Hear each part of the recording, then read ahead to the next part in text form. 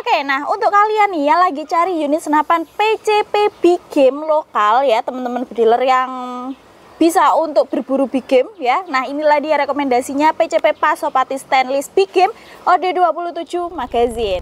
Oke, Assalamualaikum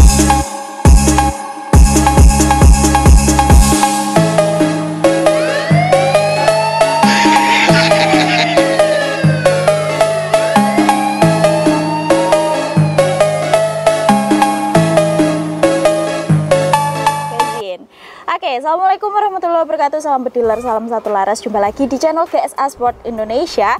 Dan kali ini kita mau kupas tuntas nih Terkait unit senapan yang ada di depan saya.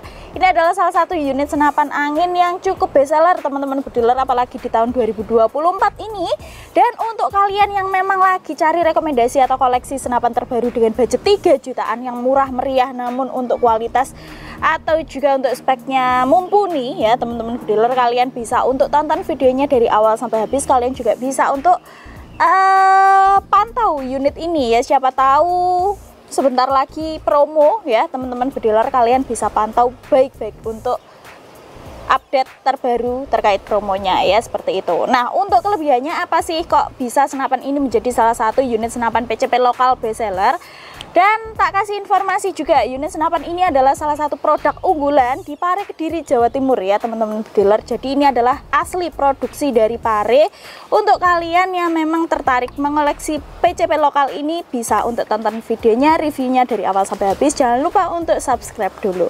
Oke, nah untuk reviewnya sendiri senapan ini itu speknya dia tabungnya ya teman-teman dealer. Tabungnya ini pakai tabung stainless. Kalau biasanya pakai tabung kuningan ya seperti itu. Kalau senapan ini pakai tabung stainless dengan OD 27 mm Lalu untuk kapasitasnya sendiri juga cukup lumayan besar teman-teman. Jadi kalau untuk tabung stainless itu memang bisa menampung uh, kapasitas yang besar uh, untuk kapasitasnya sendiri maksimal bisa 4000 PSI namun untuk safety itu bisa diisi 3500 PSI maupun 3000 PSI itu untuk amannya. Dan selain itu keunggulan dari tabung stainless itu dia juga jauh lebih awet. Selain dia nampung angin yang cukup besar dia juga lebih awet teman-teman lebih irit. Jadi rekom sekali nih untuk teman-teman bediler yang uh, suka sama senapan angin yang irit sekali. Senapan ini rekomendasi ya seperti itu. Oke nah selain itu senapan ini juga untuk larasnya ini laras sepanjang 60 cm ya teman-teman bediler seperti itu. Lalu untuk bahannya ini baja. Dan untuk sistem pengisiannya ini PCP ya murni PCP jadi bukan PCP semi gejluk itu bukan. Jadi dia hanya pengisian PCP saja bisa menggunakan kompresor PCP, tabung scuba maupun juga pompa hilpam nantinya kalau dalam pengisian.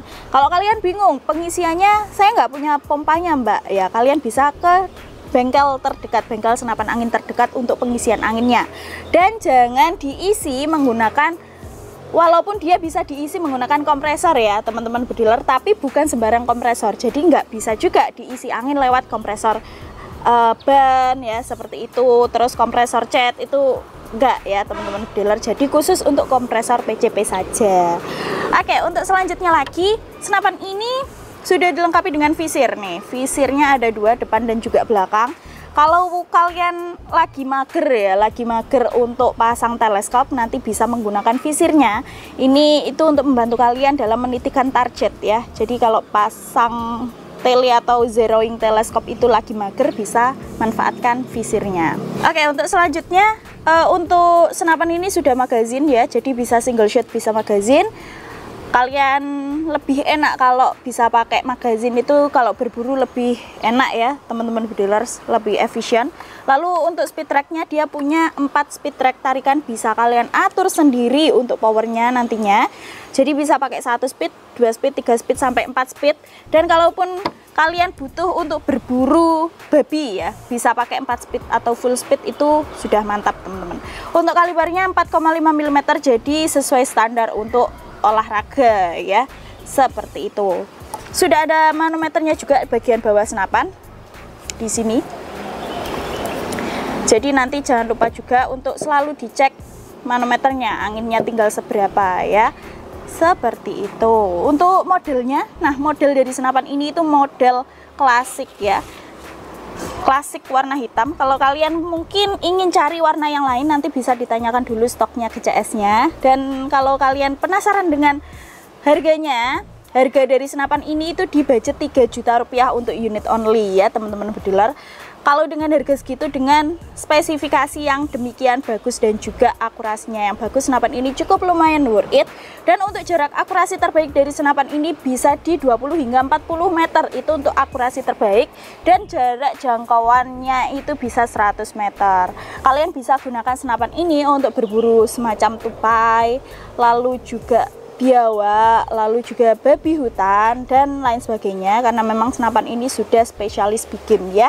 Jadi untuk kalian yang cari senapan spesialis bikin bisa untuk langsung hubungi CS kami untuk info order dari senapan ini. Dan tenang saja untuk kalian yang rumahnya jauh kita siap kirim ke seluruh wilayah di Indonesia jadi kita siap kirim seluruh Nusantara.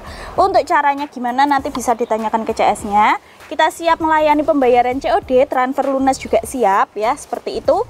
Jadi nanti bisa dikonsultasikan dulu. Untuk masalah ongkir nanti juga ditanyakan dulu ya supaya dibantu cek ongkirnya oleh CS kami. Oke teman-teman bediler segitu mungkin ya. Untuk harganya tadi saya ulangi 3 juta rupiah untuk unit only. Apabila kalian ingin ambil full set nanti bisa konsultasi terkait harga-harga aksesoris yang ke CS nya ya. Seperti itu.